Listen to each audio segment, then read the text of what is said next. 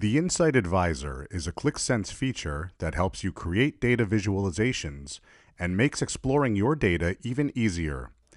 Underneath the Insight Advisor is the Qlik Cognitive Engine, which analyzes your data to determine the most useful charts based on your data. You might know what data you want to show, but you might not know the best way to present it.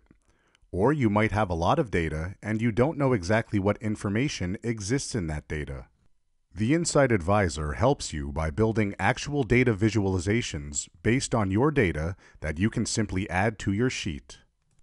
If you are looking for visualizations for a specific data field, you can set the Insight Advisor to show visualizations only for that data field. For example, by selecting the Sales field, the Insight Advisor suggests visualizations focusing on sales. To add a visualization onto a sheet, select the drop-down menu below the visualization. From this menu, you can create a new sheet with the visualization or add it to an existing sheet. Repeat the same process for all the visualizations that you want to add. As you add more data to your app, make new associations in your data model, edit tables, or classify fields, the Insight Advisor updates its suggestions.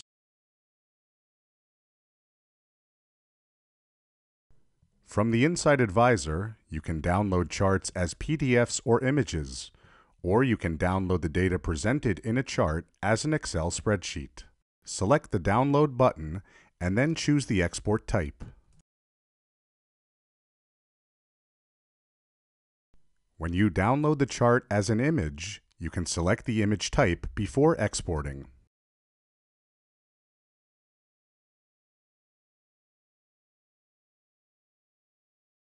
You can also interact with the charts from the Insight Advisor before you add them to a sheet. As you interact with a visualization in the Insight Advisor, the data selections are updated across every chart in your app, including the other suggested visualizations.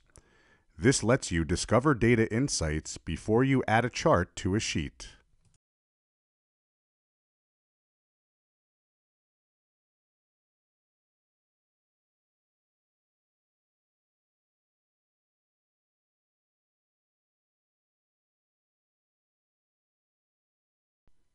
When you edit a chart that has been added from the Insight Advisor, you'll notice that they have Assistance enabled. This limits the customization properties. To customize the new visualizations, just disable Assistance. And that concludes this video. Thanks for watching.